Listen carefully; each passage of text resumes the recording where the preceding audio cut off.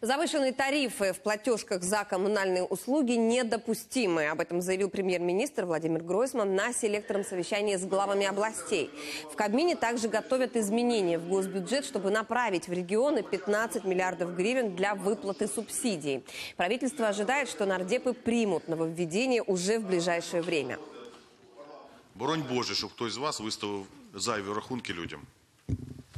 Будете нести за це персональну відповідальність. Наголошую на цьому.